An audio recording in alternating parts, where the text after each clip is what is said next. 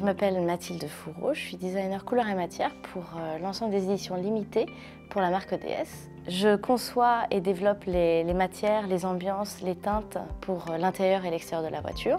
Le but est de créer des surfaces visuelles et haptiques, donc dans l'idée du sensible, qui sont en cohérence avec l'image de la marque DS. Concernant cette DS3, nous avons travaillé en collaboration étroite avec les équipes d'Inès de la Fressange.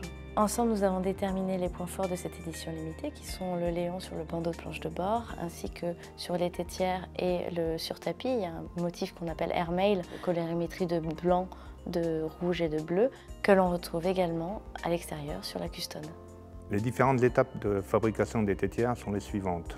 Les pots sont positionnés sur une table oblique, lumière rasante, pour que l'opérateur qualifié puisse détecter d'éventuels défauts. Après avoir euh, scanné la peau, l'opérateur demande à l'ordinateur de lui optimiser le placement.